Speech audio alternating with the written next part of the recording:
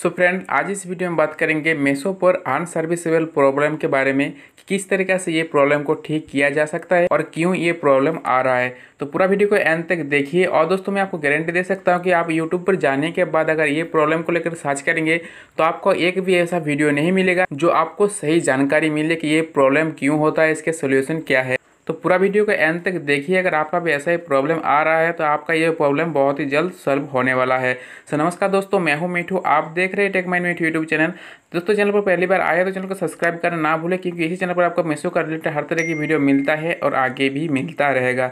बात करते हैं दोस्तों मेन टॉपिक के ऊपर। तो दोस्तों, सबसे पहले आपको मेसो एप्लीकेशन ओपन कर लेना होगा। ओपन करने के बाद आपको कुछ इस तरह का इंटरफेस देखने को मिलेगा। दोस्तों, अभी आपको क्या करना है? आप कुछ गलती करते हैं, जिसके वजह से आपको ये प्रॉब्लम आता है। तो आपका प्रॉब्लम ना आए तो पूरा वीडियो को बिना स्किप के आपको अंत तक देखना होगा, तभी आपको हर एक चीज़ समझ में आएगा। तो मैं इस जगह से किसी भी एक प्रोडक्ट को मैं इस जगह से क्लिक कर लेता हूँ। मान लीजिए कि ये प्रोडक्ट तो मैं इस जगह से क्लिक कर लिया हूँ। क्लिक करने के बाद आपको देखिए थोड़ा आपको नीचे आना है। नीचे आने के बाद इस जगह से साइज़ आपको सिलेक्ट कर लेना है। तो मैं इस जगह से किसी भी एक साइज़ पर क्लिक कर लिया हूँ। अभी आपको थोड़ा नीचे आना है। नीचे आने के बाद दोस्तों देखिए इस जगह से लिखा है कि चेक डिलीवरी डेट इस जगह से देखिए शो हो रहा है कि चेक डिलीवरी डेट और नीचे आपको लिखा है कि एंटर डिलीवरी पिन कोड ठीक है? यानी कि आपका जो एरिया का पिन कोड इस जगह से आपको डालना होगा, या तो आपका कस्टमर का जो एरिया का पिन कोड है, वो आपको इस जगह से डालना होगा। तभी आपको पता चलेगा कि ये जो प्रोडक्ट सर्विसेबल है या नहीं है। तो मैं इस जगह से देखिए, अपना एरिया का जो पिन कोड इस जगह से मैं डाल लिया हूँ, आप देख सकते हैं। अभी आपको क्या करना है, इस जगह से चेक का ऑप्शन आपको मिला है, इस जगह से आपको एक बार क्लिक करना है। और क्लिक करने के बाद दोस्तों देखिए, इस जगह से कोई भी प्रॉब्लम शो नहीं हो रहा है। सीधा सीधा बता रहा है कि इस जगह से ये जो प्रोडक्ट डिलीवरी होगा estimate delivery by Friday thirty June इस तारीख को ये प्रोडक्ट डिलीवरी हो जाएगी यानी कि बिना किसी एरर से ये बता रहा है कि ये जो प्रोडक्ट अवेलेबल है हमारे एरिया में, यानी कि प्रोडक्ट बहुत ही आसानी से आ जाएगा। लेकिन बहुत सारे लोगों का इस तरीके का प्रॉब्लम आ रहा है कि इस जगह से जैसे ही पिन कोड डाल रहे तो बता रहा है कि अनसर्विसेबल दोस्तों, इस जगह से आपको समझ लेना है कि क्यों ये अनसर्विसेबल होता है। तो देखिए दोस्तों, इस जगह से पिन कोड डालने का मतलब ये होता है कि आपकी जो एरिया है, उस जगह से डिलीवरी बॉय जाएगा कि नहीं।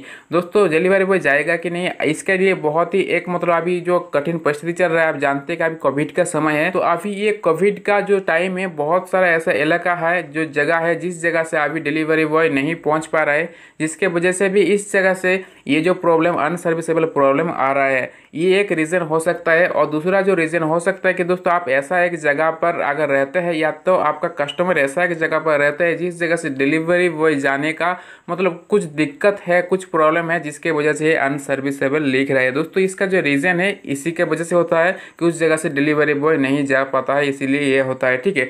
अभी बात करते हैं कि कैसे इस प्रॉब्लम को ठीक करेंगे। तो दोस्तों, मैं आपको बताना चाहूँगी, आप जिस प्रोडक्ट को ऑर्डर करना चाहते हैं, अगर आपको बहुत ही ज़रूरत का प्रोडक्ट हो तो आपको क्या करना है? आपका जो एरिया छोड़ के, यानी कि आपका जो रिश्तेदार का एरिया है, उस जगह का आपको पिन कोड डाल लेना है और देखना कि उस जगह से उस प्रोडक्ट को डिलीवरी होने में कोई प्रॉब्लम आ रहा है या नहीं। अगर नहीं आ रहा तो उस जगह से आप उस प्रोडक्ट को एड्रेस उस जगह से आप भेज सकते हैं ताकि आपका जो रिश्तेदार हो या तो आपका दोस्त तो मान लीजिए कि वो अलग जगह पर रहते हैं तो वो आपका प्रोडक्ट को रिसीव कर लेंगे और आप उसके पास से बाद में आप प्रोडक्ट को ले सकते हैं। आप इस तरीके से कर सकते हैं, ठीक है? तो अभी आपका मन में ऐसा डाउट हो रहा है कि अगर मेरा अगर खुद का प्रोडक्ट हो तो मैं ये कर लूँगा। लेकिन जो मेरा कस्टमर का प्रोडक्ट रहेगा, वो मैं क्या करूँ? तो दोस्तों, इस जगह से मैं आपको वैसा ही एक तरीके बता रहा हूँ कि आपको वैसा ही करना है। तो आपको उस जगह से देख लेना है कि आपका जो कस्टमर है, जो प्रोडक्ट चूज़ किया है, कि उसका एरिया में वो प्रोडक्ट अवेलेबल है या नहीं अगर दोस्तों अवेलेबल नहीं है तो आपको कस्टमर से आपको बात करना है कि आपका कोई दूसरा एड्रेस बता दीजिए, आपका रिश्तेदार या तो दोस्त जो कि अलग पिन कोड की जगह में रहता है तो आपको उसके एरिया में आपका प्रोडक्ट को भेजना होगा। फिर उस जगह से आप इस प्रोडक्ट को रिसीव कर लेंगे। बाद में जब डिलीवरी हो जाएगा, आप इस तरीके से कर लेंगे। दोस्तों, अभी आपका मन में और एक डाउट चल रहा है कि भाई ऐसा करने से तो बहुत दिक्कत, परेशानी होगा तो मैं ये नहीं कर पाऊँगा। दोस्तों, मैं कहना चाहूँगा कि दोस्तों, ऐसा प्रॉब्लम कुछ भी नहीं आएगा। क्योंकि दोस्तों, ये जो प्रॉब्लम है, ये बहुत कम प्रॉब्लम आता है। ज़्यादा से ज़्यादा ये प्रॉब्लम नहीं आता है। ये एक दो आता है। तो अगर एक दो अगर ऐसा कस्टमर आपका मिल जाता है तो आपको ये मैनेज करना ही होगा। इसके अलावा और कोई रास्ता नहीं है, ठीक है?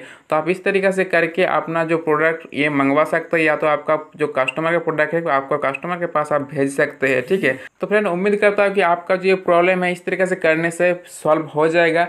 फिर भी अगर कोई अगर दिक्कत है तो आप मुझे कांटेक्ट कर सकते हैं। इंस्टाग्राम का लिंक आपको डिस्क्रिप्शन में मिल जाएगा।